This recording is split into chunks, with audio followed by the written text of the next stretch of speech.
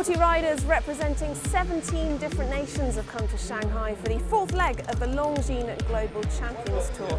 It is the third time that the tour have visited Shanghai and year after year crowds pack into this showground which is in the shadow of the China Art Palace.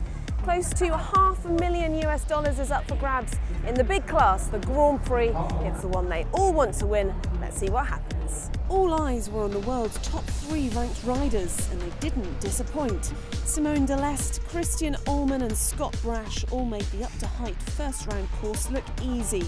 They were safely through to the second round, along with 11 other faultless combinations. Of the three, it was the overall rankings leader who impressed in the next round. His beautiful grey stallion Coloured skipped around what was a tricky course.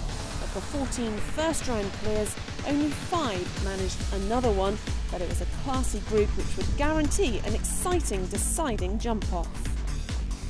First in, two-time tour winner Edwina Tops Alexander put the pressure on the remaining four riders with a fast clear. It was bettered though by the next rider in, Marc Houtzager, and then again by Marco Kutscher. His experienced bay stallion Van Gogh looked to have set an unbeatable time.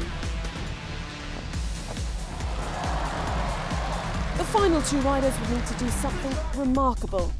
Ahlmann was up on the clock but rubbed the final fence, so it came down to the very last rider into the ring. 42 uh, 7. He's trying. Oh, steady up. That clears it, and it's 41.97. An historic Tour Grand Prix victory for Saudi Arabia and the winning rider Abdullah Al Sharbatly, whose plan came off.